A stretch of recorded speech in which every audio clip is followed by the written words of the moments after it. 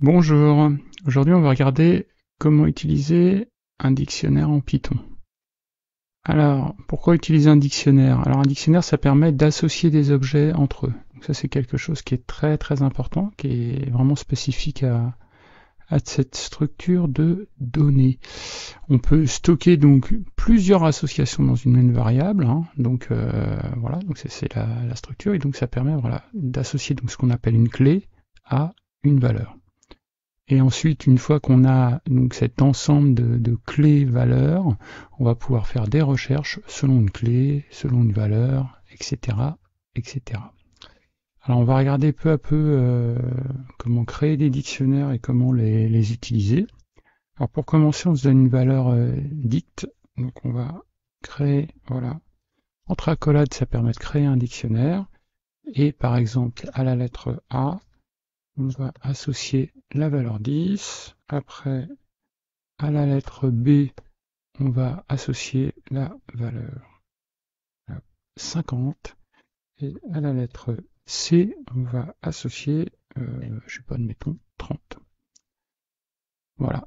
Alors là, je suis dans un programme. Donc si je veux avoir un résultat visible, il faut que je fasse un print pour avoir un résultat dans la console. Donc là, voilà, j'ai créé donc un dictionnaire, donc euh, j'ai réussi à l'afficher, donc euh, avec trois associations.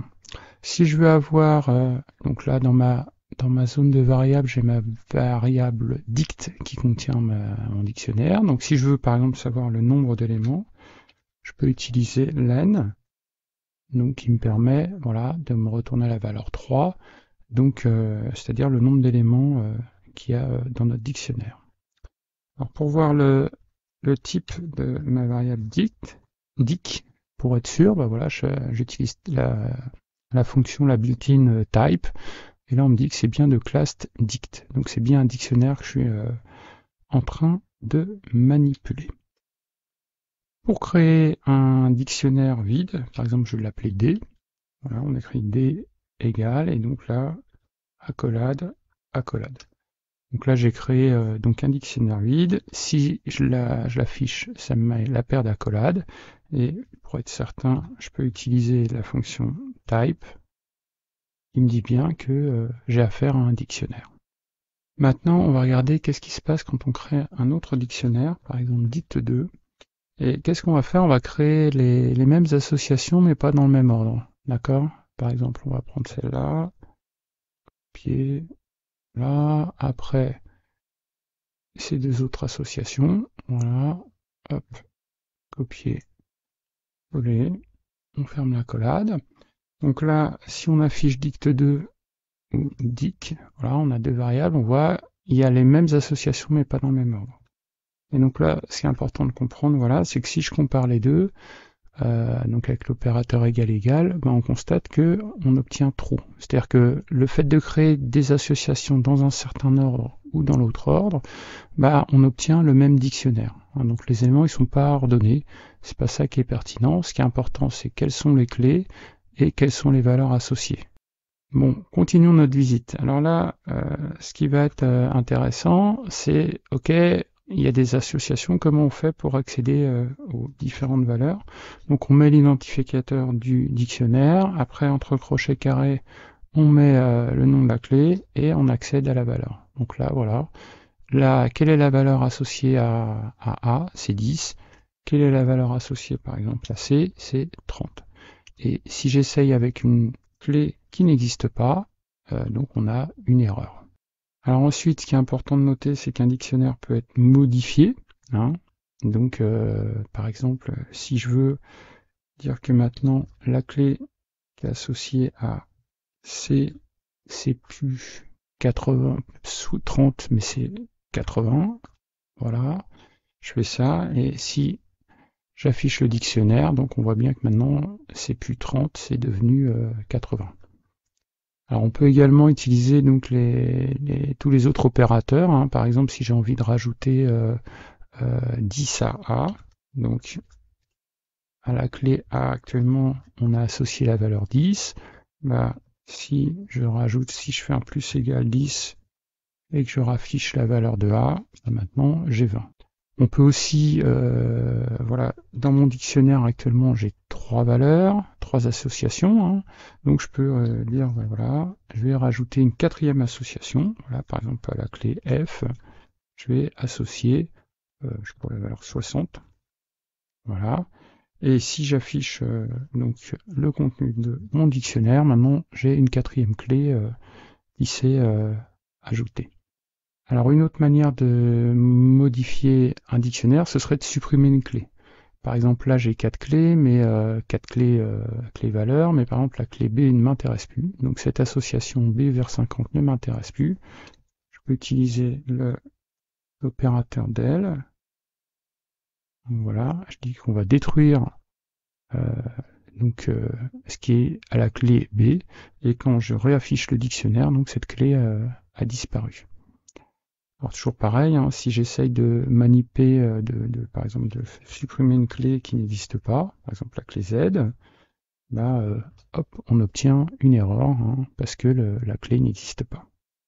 Alors pour euh, utiliser et modifier un dictionnaire, on peut utiliser des, méthodes.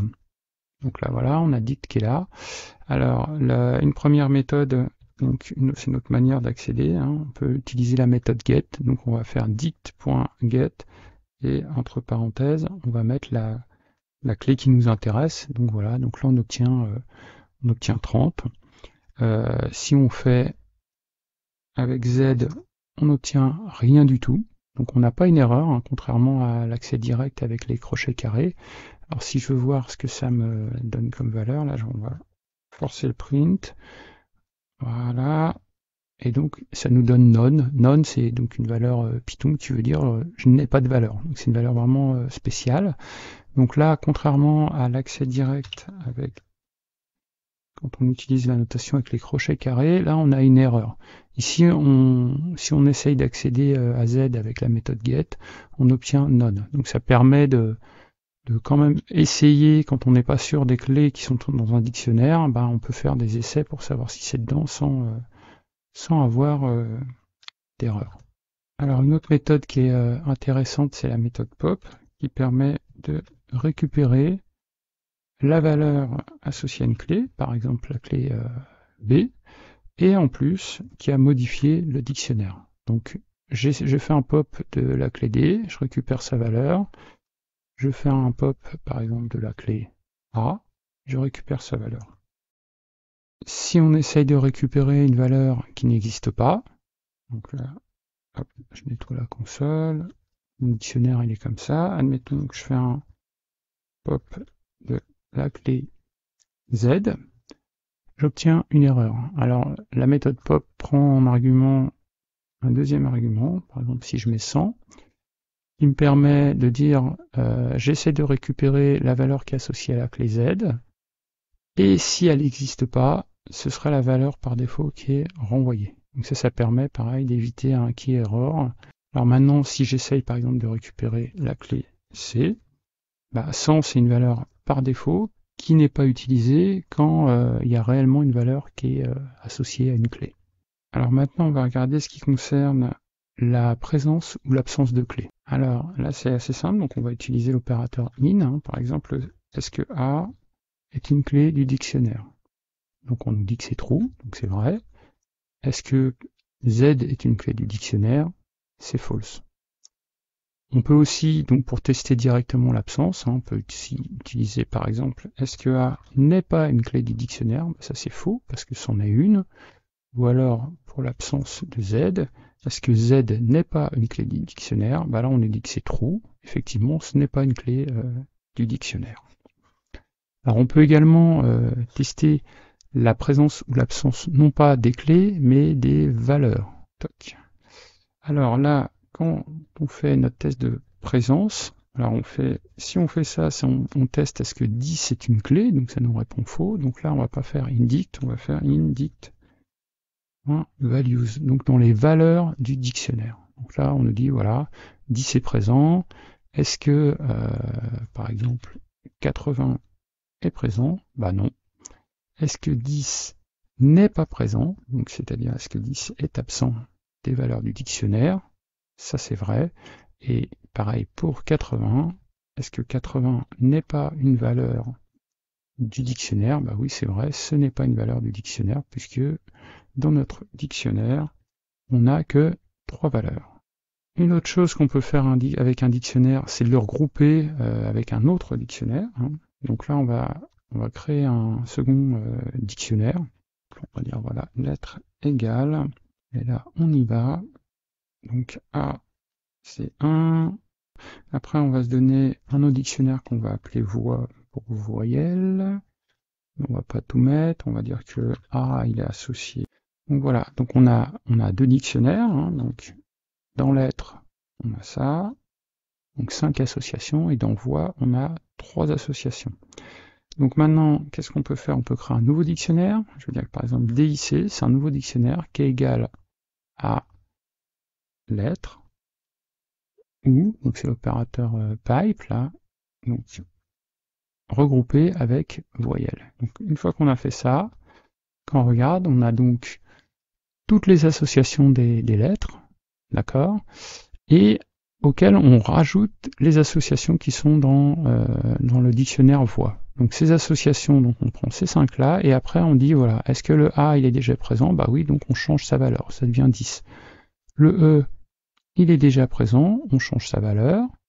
Voilà, le i n'est pas présent, on le rajoute. Donc les valeurs du second dictionnaire viennent écraser celles du premier dictionnaire, et si une clé n'existe pas, elle est ajoutée. Donc là, on a le regroupement euh, de deux dictionnaires dans un nouveau dictionnaire. Hop, voilà, je me donne mon dictionnaire, mais en récupérant euh, les associations. Donc non pas uniquement la valeur avec pop, mais euh, les associations. Donc pour faire ça, on a une autre méthode qui s'appelle pop item qui me donne une association. Donc là, ça me donne un, tuple, euh, donc euh, avec la clé et la valeur. Une fois que j'ai fait ça, si je regarde à nouveau ce qu'il y a dans le dictionnaire, bah, je m'aperçois que donc le C est parti.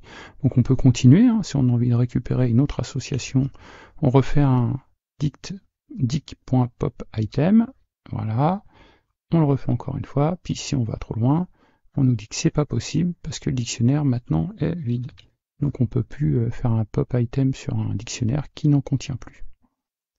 Alors si on souhaite vider le dictionnaire en une seule fois et sans récupérer les valeurs, donc il y a la méthode clear.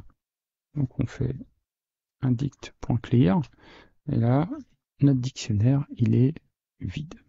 Alors une dernière chose qui est euh, intéressante avec euh, les dictionnaires, donc c'est comment on peut les parcourir pour pouvoir faire des, traitements dessus. Alors en fait il y a trois manières de les parcourir en fonction de ce qu'on cherche à faire. On va regarder les trois manières. Hein. Donc là je refais un run, voilà, pour avoir les valeurs. Voilà, j'ai trois associations dans mon dictionnaire. Donc on va commencer par dire voilà, moi ce qui m'intéresse c'est uniquement les clés. Donc je vais faire par exemple for k in keys. Voilà, je parcours selon les clés. Donc là, je vais, on se contente d'afficher les clés, hein, on pourra faire un traitement. Et donc quand on exécute, voilà, donc là, avec for k in dict, dict.keys, on obtient donc la clé A, la clé B, la clé C. Donc maintenant, on va faire le parcours où euh, on est intéressé uniquement par les valeur. Donc, hop, j'ai mon dictionnaire. Donc, je vais faire for v in dict.values. Voilà. Et là, on va faire un print de v. Voilà. Et donc là, j'ai une valeur 10, 50, 5. Voilà. Donc, à chaque tour de boucle, j'ai une valeur euh, différente. Et comment parcourir le dictionnaire mais en récupérant clé et valeur. Donc là, on va faire un for, donc on va dire K pour la clé, la key, V pour la valeur, in, donc on a déjà vu, hein, dic.items, deux points, voilà, print, donc on va faire K, V, voilà, et on y va. Donc là, on récupère à chaque tour, dans la variable K, la clé, et dans la variable v la valeur. Donc on a, euh, voilà, on a pu parcourir nos dictionnaires. Donc sur ce, on a fait le tour. Donc si on veut revoir un petit peu, donc en résumé, donc un dictionnaire, c'est encadré par une paire d'accolades. Les éléments, on les sépare par des virgules. Alors chaque élément, c'est une clé associée à une valeur. Donc on mettra deux points entre les deux hein, pour euh, voilà. Donc clé valeur, virgule, clé valeur et ainsi de suite. Un dictionnaire, on peut le modifier. Donc on dit qu'il est mutable. Une manière d'obtenir la valeur associée à une clé, c'est avec les crochets carrés. Des euh, crochets C, ça nous permet d'accéder à la valeur associée à la clé C. Pour affecter, associer une valeur, donc on fait des crochets carrés C et on referme égal V. Voilà. Ensuite, l'opérateur in bah, nous permet de vérifier la présence, not in l'absence. Ensuite, pour manipuler un dictionnaire, donc on a différentes méthodes. Hein. On a le get, pour euh, obtenir une valeur, pop item pour obtenir clé valeur, pop pour obtenir la valeur encore, l'update pour fusionner avec un autre euh, dictionnaire, le clear pour tout nettoyer, pour vider le dictionnaire. L'opérateur pipe permet de faire un regroupement, hein. donc ça modifie pas le dictionnaire contrairement à l'update. Et enfin, pour parcourir les dictionnaires, donc on, utilise for et in et on a donc trois manières de voir la chose. Donc soit avec la vue des points keys, soit des points values, ou soit des points items. Bah, sur ce, je vous remercie beaucoup pour votre attention et je vous dis à bientôt. Au revoir.